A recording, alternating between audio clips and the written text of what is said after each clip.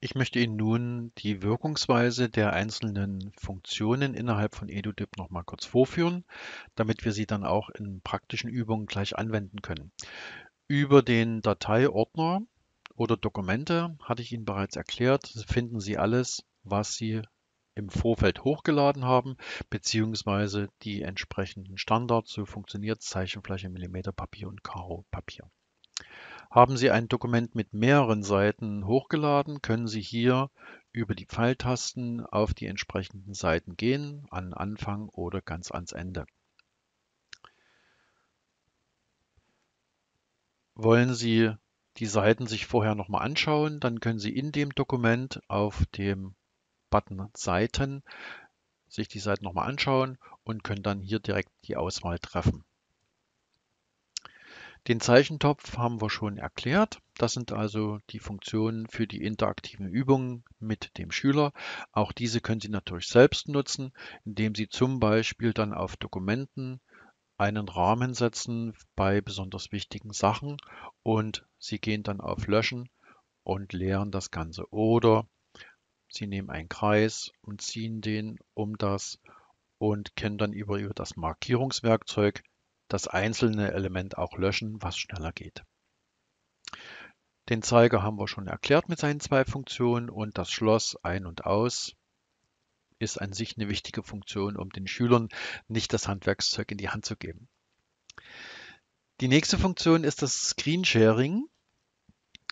Das heißt, Sie werden jetzt gleich Ihre Bildschirmoberfläche freigeben oder ein Dokument.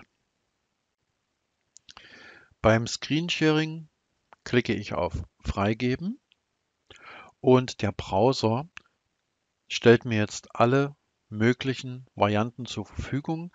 Das heißt also, ich habe entsprechend die Monitore, Bildschirm 1, 2 oder 3, beziehungsweise er stellt mir die Anwendungen vor, die ich geöffnet habe.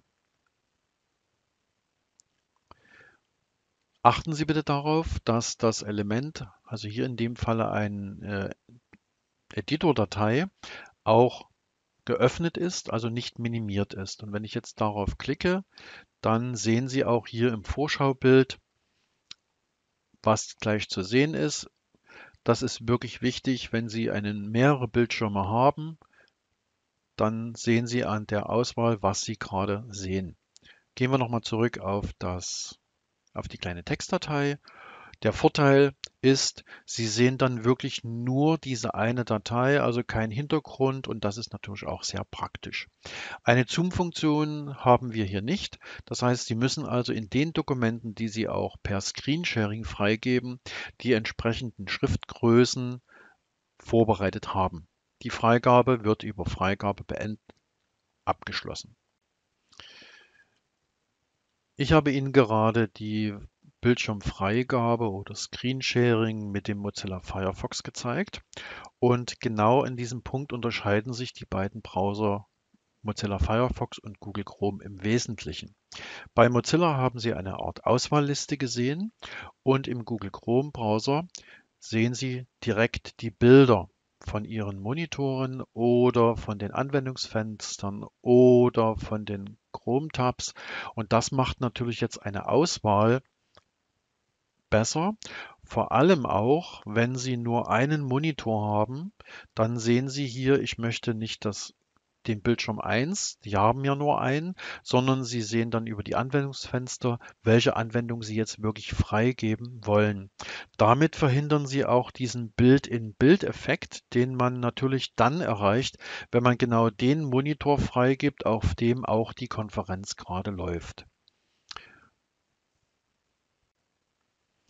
Hinter dem sogenannten Play-Button verbirgt sich die Einbindung von externen Videos. Und so wie der Name schon sagt, es können nur YouTube-Videos eingebunden werden.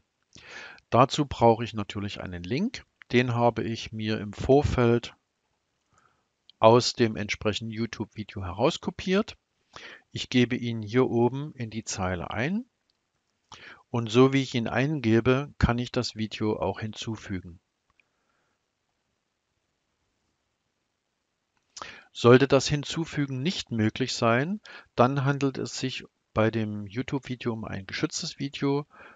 Das heißt, man sollte also wirklich vorher testen, welche Videos sind für YouTube möglich, beziehungsweise kann ich auch nutzen. Ich versuche es mal mit einem zweiten Link. Und Sie sehen hier ein YouTube-Video von dem bekannten Lehrer Schmidt. Hat funktioniert. Und jetzt könnte ich das über Abspielen den Schülern vorführen. Und wenn ich es nicht mehr brauche, kann ich es dann auch entsprechend löschen. Die nächste Funktion erkennbar mit den zwei Personen, das ist der sogenannte Kameramodus. Wenn ich ihn einschalte, setze ich das Video in die Mitte der Arbeitsfläche. Je nachdem habe ich eine Person, habe ich mehrere Personen oder habe ich die maximale Anzahl an Schülern oder Teilnehmenden, dann kann ich also entsprechend hier umschalten und ich sehe dann die entsprechende Anordnung. Die vorletzte Funktion ist unsere Umfrage. Ich aktiviere die Umfrage und habe hier die Möglichkeit, eine neue Umfrage zu erstellen, beziehungsweise eine Umfrage, die ich vorher schon erstellt habe, zu aktivieren. Ich habe jetzt an sich so eine große Auflösung gewählt, damit Sie das Ganze deutlicher sehen können. Aber Sie sehen schon im Hintergrund, da ist die Umfrage. Es empfiehlt sich auch hier, diese Umfragen im Vorfeld der Konferenz bereits einzustellen und zu speichern. Und wollen Sie die Umfrage durchführen, dann klicken Sie auf Start und die Teilnehmerinnen und Teilnehmer oder die Schülerinnen und Schüler erhalten dann ihre entsprechenden Button, also die A, B und C Antwort und man klickt entsprechend drauf. Nach Beendigung kann man das Ganze dann vorführen lassen, also anzeigen und Sie können es auch dann beenden. Ich gehe jetzt auf Abbrechen und gehe zur letzten Funktion. Das ist unser Chat. Er befindet sich ja in der Ausgangssituation neben den Teilnehmern.